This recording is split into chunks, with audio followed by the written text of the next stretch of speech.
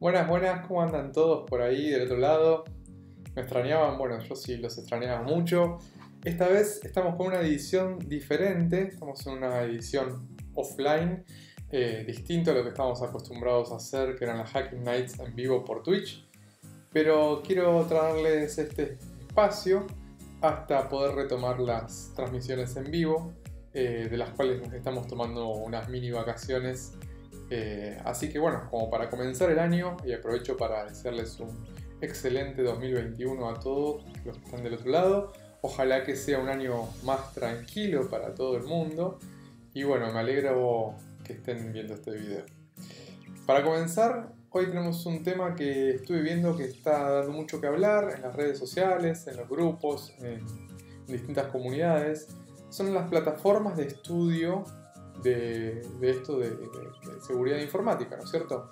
Hay muchas, se me ocurrió hacer una comparativa entre dos, quizás las dos más conocidas, así que hoy hice una investigación y me pareció lindo compartirlo con ustedes en este espacio. Antes de comenzar quiero agradecer a la gente de GitHub Security Lab que me mandó esta remera hermosa, mandó una taza divina, también ahí se puede ver, y unos stickers acá, unas calcomanías, la verdad se pasaron. Muchísimas gracias. Así que bueno, eh, aclarar que este video no está sponsoreado por ninguna de las plataformas que vamos a, ver, simplemente es una eh, opinión totalmente personal, una investigación personal que hice en las plataformas que traigo para compartir con ustedes y luego, bueno, ustedes sacarán sus propias conclusiones.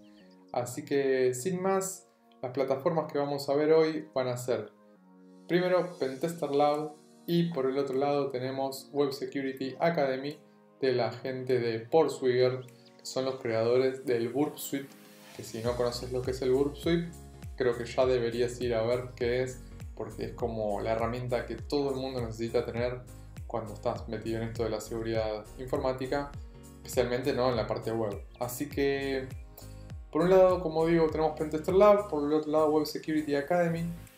Eh, Web Security Academy se enfoca más en lo que es eh, web, obviamente, como dice el título, Web Security. Y Pentester Lab es más global, no solamente en la parte web, sino de otras cosas. Entonces vamos a hacer una comparativa entre esas dos plataformas. Una plataforma es gratuita, la otra es paga. Ya vamos a ver ese tema también. Vamos a tocar diferentes temas. Quiero que hablemos sobre la cantidad de vulnerabilidades y laboratorios disponibles para cada una de las plataformas me gustaría que hablemos sobre los tipos de vulnerabilidades que tienen cada una de ellas, los diferentes logros que podemos ir desbloqueando, los famosos badge, eh, la dificultad que nos proponen ambas plataformas, eh, bueno, los precios, como dije, uno va a ser, ya sabemos que es gratuito, pero por lo menos ver los precios y las modalidades de pago, eh, la organización del plan de estudio que proponen, que me parece que es algo muy interesante para analizar, eh, bueno, y después eh, la comunidad que hay por detrás de cada uno de ellos. Hay mucha gente escribiendo write-ups y hints y demás para, para, para, los diferentes laboratorios. Bueno, ver qué comunidad hay detrás de cada uno de ellos. Y finalmente el tema de la actualización del contenido de cada, de cada plataforma. Entonces, eh, si les parece bien, eso es lo que les propongo para el día de hoy. Así que sin más preámbulos, arrancamos. Bueno, comenzando, acá podemos ingresar a la página de portswigger.net barra web security y acá tenemos ¿no? la parte de Academy. Eh, tenemos nuestro dashboard donde vamos a ver la cantidad de, laboratorios que fuimos resolviendo, los que nos faltan, el nivel que tenemos. La verdad es que no hice muchos laboratorios, la verdad más bien hice pocos. Eh, pero bueno, le los que hice me parecieron suficientes como para tener una buena idea de qué se trataba todo esto, ¿no? Eh, así que bueno, por un lado tenemos acá esta plataforma, vamos a ver de qué se trata. Bueno, como les dije, acá tenemos el dashboard general, acá tenemos el material de, aprendizaje que se refiere ya a cada vulnerabilidad específicamente. Recordemos que esta, esta plataforma solamente abarca la parte web, ¿no? Entonces, bueno, obviamente las vulnerabilidades van a ser de ese estilo. Por ejemplo, vamos a una tradicional, SQL Injection. Entonces, acá nos propone el material de lectura para aprender a conocer esta vulnerabilidad, nos ponen también algún video, la verdad está muy completo, muy, muy ejemplificado y ya cuando nos dan una primer buena introducción nos proponen ir al primer laboratorio. Entonces uno ya puede acceder a través de este mismo enlace al primer laboratorio y los laboratorios tienen este estilo en donde nosotros nos dicen si está resuelto o no está resuelto y nos dan eh, una, una consigna, es lo que tenemos que hacer. Y abajo de todo, fíjense que tenemos la solución, que si nosotros desplegamos acá, vamos a ver cuál es exactamente la solución para resolver este laboratorio. Obviamente no se hagan trampa ustedes mismos, no lean la solución a menos que ya no puedan saber por dónde ir ni nada. Eh, en ese caso, lo que yo les recomiendo es que si están trabados y no pueden avanzar, desplieguen la solución y vayan leyendo de a un reglón a la vez, que quizás con una pista ya pueden avanzar y no hace falta que se spoileen toda la solución. Entonces el método para acceder a este laboratorio es justamente acceder al laboratorio de esta manera. Esto lo que hace es crearnos un sandbox, un entorno eh, de prueba, que por ahí demora un poquito, y entonces eh, ahí nos va a llevar justamente acá como se ve, se cargó. Entonces este es el entorno de pruebas para este laboratorio de SQL Injection, que es el número uno, el más básico de todos. Y bueno, y acá ya tenemos que empezar a jugar. Eh, obviamente nos va a servir muchísimo tener el boot. Y lo bueno es que podemos usar el Word Community, no necesitamos pagar la licencia de Word profesional. Para todos, para todos los laboratorios que nos propone esta academia, podemos utilizar la versión Community del Word. Por lo tanto, no debemos, no, si, no queremos, no vamos a gastar ni, ni un peso, ni un dólar. Así que esa es una de las cosas positivas. Y por el otro lado vamos a ver entonces el laboratorio de Pentester Lab, la plataforma de Pentester Lab, que se ve algo así. Y acá tenemos nuestro dashboard. Esta sí, por ahí es un poco más de ejercicios porque, nada, eh, fíjense, me uní el 30 de diciembre eh, del año pasado a esta plataforma y la verdad es que le estuve metiendo mucho porque quería ver de qué se trataba y demás, y además porque pagué la suscripción de un mes para ver cómo, cómo era, así que tengo un mes para hacer esto, después veré si renuevo la suscripción o no, pero quería meterle pilas para ver justamente cómo, cómo venía este tema. Fíjense que acá abajo me propone, me muestra los certificados, los badges que fui obteniendo. Entonces yo acá me los puedo agregar a mi perfil de LinkedIn o compartirlos a través de un Twitter, eh, de un tweet, o bajarme el PDF etc. Eh, entonces tenemos eh, esta es básicamente la modalidad, después podemos ir a, lo que es el progreso y acá tenemos los distintos badges.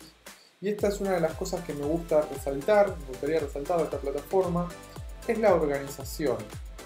Está organizado por bloques, ¿no es cierto? Tenemos el bloque de introducción, por ejemplo, el primer bloque que nos proponen es un bloque de introducción. La verdad que son pocos laboratorios eh, y, digamos, eh, es fácil de completarlo porque hasta prácticamente nos terminan dando la solución. Luego tenemos el laboratorio de, todo lo que es Unix. No lo terminé todavía, pero la verdad está muy bueno. Eh, no hace falta tener Linux instalado ni nada. Ellos te, montan un, sistema que vos accedes a través de la web a una consola, así que no, no necesitas tener instalado Linux. De todas maneras, sabemos que es mejor tenerlo instalado, pero bueno, si no lo tenés no hace falta.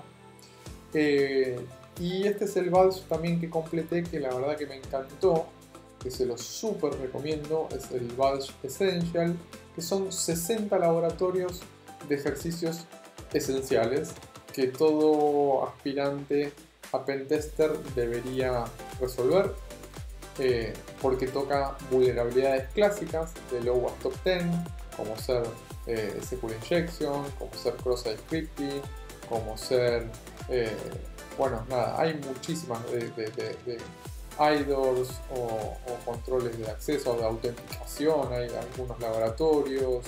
La verdad es que hay muchas, eh, muchas variantes, muchas, muchas distintas eh, diferentes eh, vulnerabilidades para ir probando y eso lo hace muy interesante. Y hablando de las distintas vulnerabilidades que tenemos, las distintas fallas, bueno, ya les dije que en el Essential tenemos un poco de cada cosa. Esencial, pero un poco de cada cosa. Pero después, en la parte de Unix tenemos todo lo que es seguridad, pero ya en el propio sistema operativo, ¿no? Así que también es muy interesante. Fíjense que no es nada que ver con web, sino que ya es propio de un sistema operativo y la verdad está buenísimo aprenderlo. Después tenemos el, eh, esta, esta parte es toda de, tráfico, de análisis de paquetes de datos. Eh, la verdad que todavía no lo comencé, pero me imagino que va a ser muy entretenido. Vamos a tener que usar mucho el Wireshark, así que vamos a ver de qué se trata. Y después tenemos eh, diferentes badges, por ejemplo el badge white, el blanco. Y acá ya tenemos eh, un CVE, ¿no? Para explotar este CVE de Shellshock, tan famoso. O el primer capítulo de introductorio de lo que son los JSON Web Tokens, ¿no? Los JWT, esta, esto, esta tecnología tan utilizada para todo lo que es eh, autenticación entonces es la primera parte, porque fíjense que JSON Web Token, acá vemos la parte 1, pero si seguimos bajando, fíjense que tenemos JSON Web Token 2, y acá ya tenemos mucho, mucho más, fíjense que JSON Web Token 5, 6, etc. Bueno, fíjense, hasta acá, miren, miren la cantidad de, de laboratorios referentes a JSON Web y además cada uno está metido en un paquete de, de un badge diferente, en este caso el Green Badge. Miren, habla justamente de GraphQL, eh, así que bueno, fíjense la cantidad de badges que hay con las diferentes vulnerabilidades. Hasta incluso tenemos de Java serialización en Java, que hay un solo laboratorio disponible dentro del badge, los demás están por venir. Hay un laboratorio de review de código muy interesante para hacer. Hay un laboratorio que no pude terminar porque el último laboratorio no está subido, pero este badge, el de Recon, ya lo tengo todo hecho, pero falta que suban el último, así que todavía no lo tengo terminado. Pero bueno, nada, hay mucho para jugar. Y entonces, eh, volviendo un poco a Portswigger, eh, ¿qué nos ofrece Portswigger de, de similar o de diferente, no? Bueno, eh, como ya les dije, la cantidad de, vulnerabilidades eh, es mayor en Pentester Lab, evidentemente, pero ¿por qué es mayor? Porque Pentester Lab se enfoca, como ya dije al principio, en algo más global, no solamente en la parte web, sino que en todo lo que podría abarcar un pentester. Sabemos que la verdad que es mucho lo que podría abarcar un pentester pero los escenarios básicos y más importantes están contemplados en esta plataforma, entonces la cantidad de vulnerabilidades que nosotros vamos a poder explotar son muchas mayores que las que nos ofrece la academia de Portswigger. Pero no quiere decir que Portswigger sea malo o que tenga pocas vulnerabilidades, no, por el contrario, tiene muchas vulnerabilidades y están todas más bien enfocadas al OWASP Top 10, ya que sabemos que el OWASP Top 10 habla justamente de los riesgos eh, asociados a la parte web. Después tenemos también de la parte API y de la parte de mobile, pero la parte de, de lo que nos propone la gente por subir está orientada a la parte web. Entonces, eh, por el lado de cantidades de vulnerabilidades, le tendríamos que dar eh, el veredicto final en ese aspecto a la gente de Pentester Lab, pero solamente porque ellos decidieron hacer algo más global y la gente de, de, se quiso centrar solamente la parte web, que es lógico porque los productos que comercializan ellos, eh, el producto que comercializan ellos está enfocado para lo web, ¿no? Así que también tiene un poco de lógica. Y hablando de los badges, uno puede ir desbloqueando diferentes badges. En la parte de Portswigger vemos que hay niveles, y son tres niveles. Tenemos el nivel de, de aprendiz, el nivel de, de, practicante vendría a ser la traducción en español, me imagino, y el último nivel, el nivel de experto. Entonces nosotros podemos ir, eh, y bueno, el nivel con el que comenzamos es el de newbie, que ni siquiera llegamos al de aprendiz, pero bueno, entonces uno puede ir resolviendo laboratorios. ¿Y de qué manera? Fíjense que yo tengo, por ejemplo, dos laboratorios resueltos del nivel de, experto, de un total de 27, 11 de un total de practicante y 14 de un total de 47 de los de aprendiz. ¿Y dónde vemos esas diferencias? Bueno, por ejemplo, si yo estoy en la parte de SQL Injection, eh, volvamos acá, volvemos al laboratorio que habíamos abierto anteriormente y al ser el primer laboratorio, obviamente va a ser de un nivel bajo, del primer nivel de aprendiz. Si nosotros seguimos avanzando en, esta vulnerabilidad, vamos a encontrar que hay eh, laboratorios mucho más avanzados. Bueno, fíjense en este caso, ¿no? Este caso es un laboratorio de cross-site eh, scripting que hay que hacer un un bypass del CSP, que es el Content Security Policy, y hay que hacer un bypass de eso para poder explotar un cross-site eh, reflejado, y esto ya es de un nivel experto. Entonces, eh, nada, obviamente que para poder llegar a hacer esto eh, es mejor haber hecho los primeros y ir en orden, justamente, para ir ganando aprendizajes y luego llegar a los últimos y listo. Entonces de esta manera se, se, resuelven los laboratorios y son los logros que podemos ir desbloqueando. Entonces tenemos estos tres badges eh, en Postgre. Y en la parte de, Pentester eh, Lab tenemos varios badges. Eh, acá tenemos todos los badges que están disponibles, son muchísimos. Entonces podemos ir desbloqueándolos. Mi opinión es que si sos del estilo de persona tipo gamer que le gusta ir desbloqueando badges, la verdad es que me parece que Pentester Lab está como más copado en ese lado, en ese sentido, porque tenés como muchos, eh, logros para ir desbloqueando y en cambio en, Web Security Academy de Foursquare solamente podemos desbloquear tres niveles. Entonces eh, por ahí se hace muy largo hasta poder desbloquear un nivel o muy difícil y acá podemos ir desbloqueando niveles eh, en el medio. Fíjense que yo arranqué por la introducción, hice el Essential, después me puse a hacer el de Unix y, en el medio resolví el de Recon, que como les dije no está terminado porque el último laboratorio no está subido, pero entonces fui salteando un poco.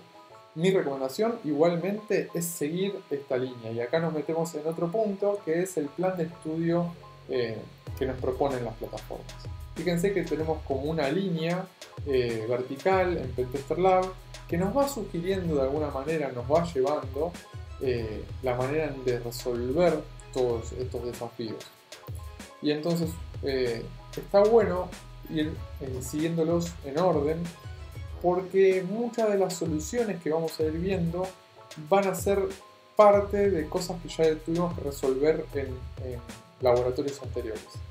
Entonces quizás hay algún script que hayamos tenido que hacer para resolver algo y podemos reutilizarlo modificándole algo, entonces es muy muy interesante.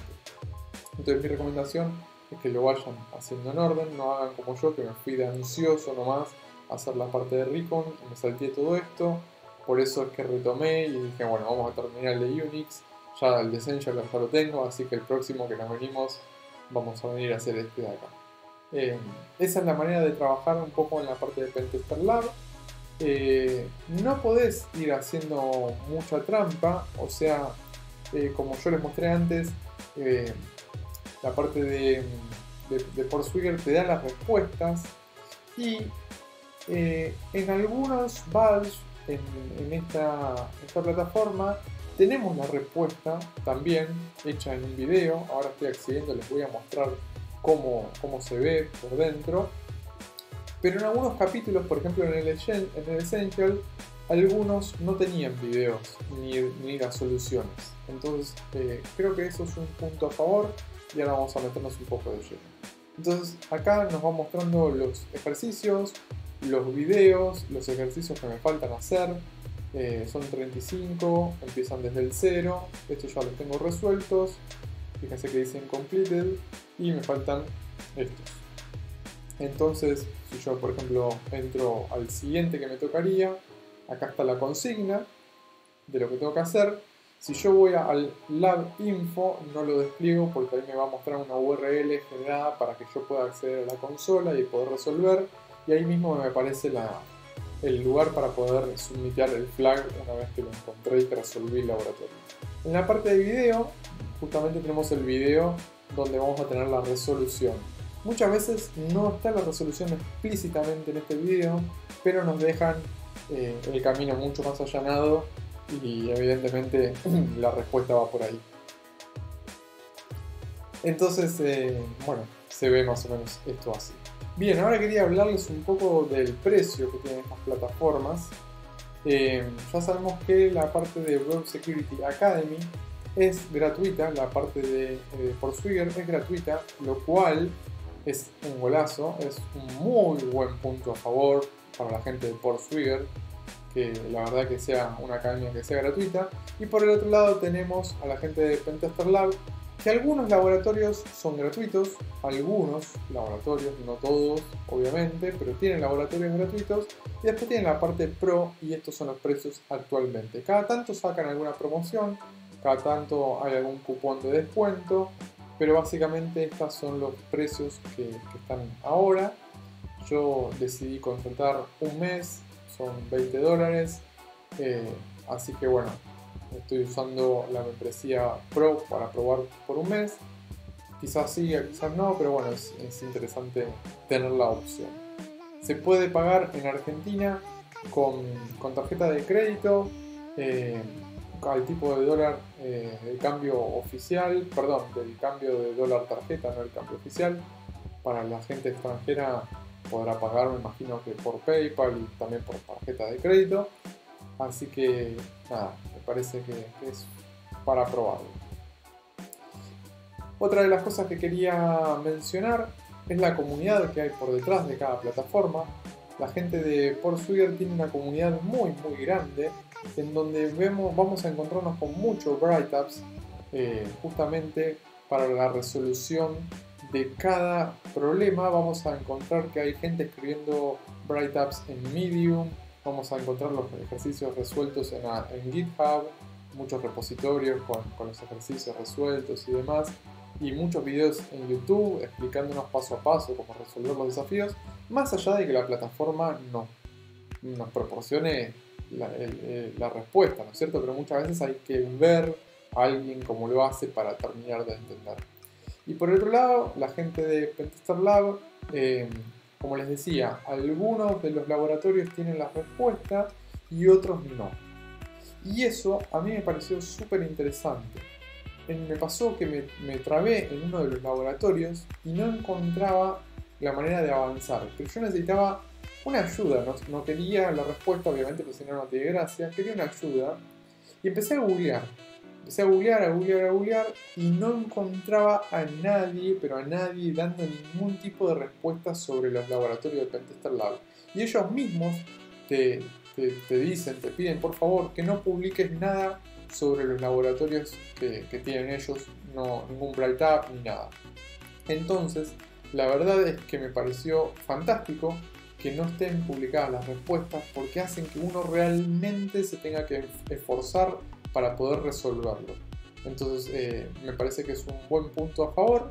No digo que esté mal tener las respuestas a mano, pero creo que muchas veces eh, cuando nos esforzamos mucho y no logramos dar con esas respuestas y sabemos que las respuestas están ahí, tenemos la tentación de caer y ir a buscarlas.